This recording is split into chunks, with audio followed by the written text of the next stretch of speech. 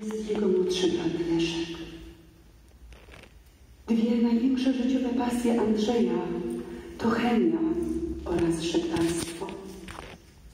Andrzej bardzo dużo podróżował w związku ze swoją pracą. A kiedy wracał, wszyscy byli ciekawi jego opowieści. Najczęściej jednak rodzina słyszała krótką odpowiedź. E, tam, normalnie, jak u nas.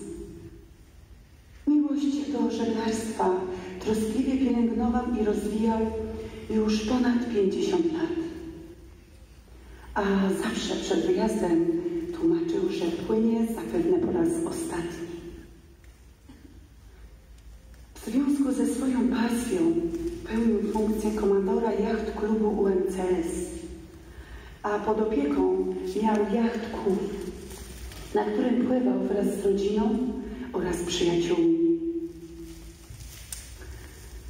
Najlepszym uzupełnieniem ciepłych wspomnień o zmarłym będzie ten napisany przez grono serdecznych przyjaciół Andrzeja. Krótki i z serc płynący pożegnalny list.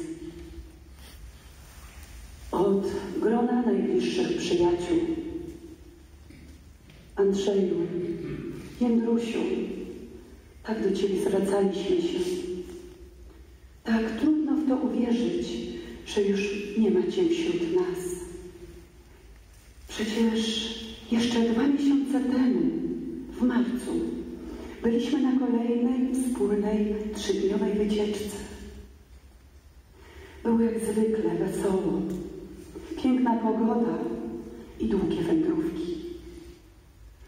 Ustaliliśmy kolejne wyjazdy